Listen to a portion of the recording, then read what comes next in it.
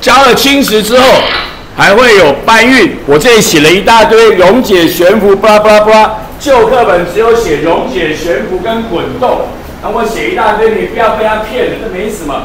那只是因为颗粒大小的关系，它很细小，飘。如果我可溶，就溶解带走嘛。如果不可溶，可是颗粒比较细小，就飘在水中，叫做悬浮。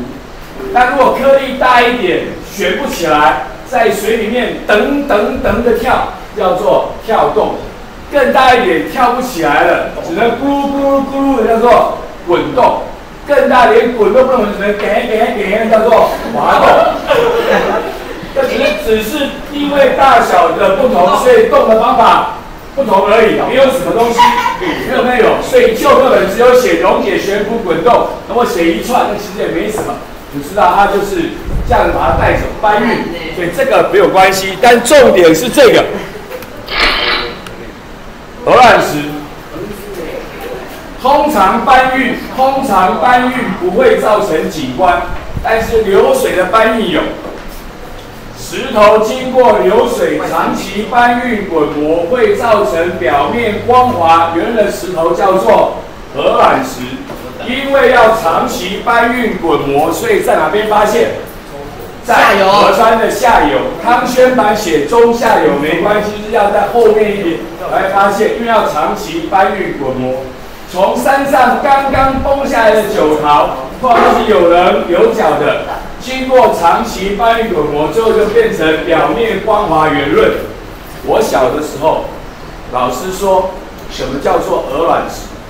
他说长得像鹅蛋的石头。我看那个图里面，那比较像荷包蛋，圆圆。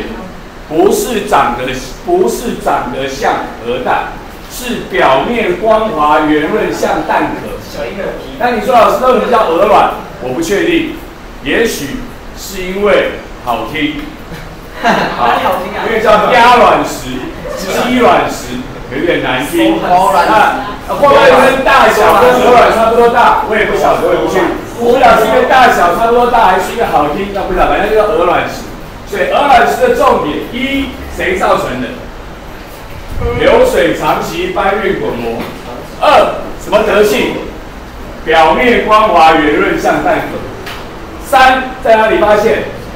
河川的下游或者是中下游，可以搬运，OK，讲过了。通常搬运没有景观，但是鹅卵石是流水搬运的结果，请你记住啊，有有记记住鹅卵石。河川的沉积，再看一看曲流就好。来讲一题，古时候，民国长九十年第一次学考过题目，假设流水是这样子流。顺着流水的方向，这个叫做右岸，这个叫做左岸。啊，停车站借问，右岸会沉积还是右岸会侵蚀？主要右岸是沉积还是右岸？这是古时候第一次考学考的这一题。停车暂借问，我们请帅哥男二十四号。二十四。右岸是会主要会沉积还是会侵蚀？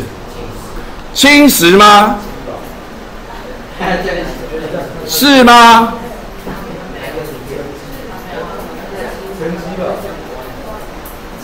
最后五秒、四秒、三秒、两秒、一秒，哪一个？改成机，改成机很好，请坐下。答案是侵蚀。右边弯的比较大弯，有没有？河流一起流过去，右边比较大弯，要走的比较快，所以会侵蚀；左边走的比较小弯，所以比较慢，所以会怎样？沉积。所以右岸会侵蚀，左岸会沉积。这个是九十年第一次学测考的题目，又考的题目。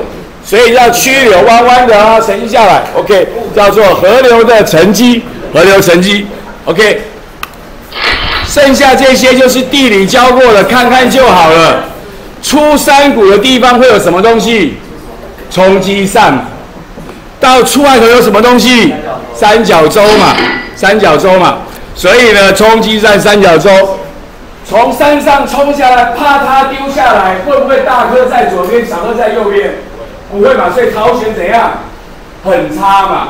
OK，啊，再一注意哦，再一注意，我第一次在这边提到了沙滩或沙洲，但是平常的考卷上，沙滩跟沙洲都是当做是海洋沉积物，不是河流。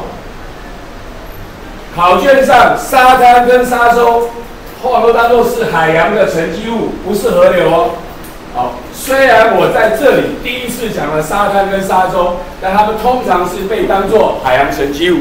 冲积扇、三角洲，这个是地理课本上念过的河流的沉积地形，就给它看一看，欣赏一下就好了。不让问对吗？没。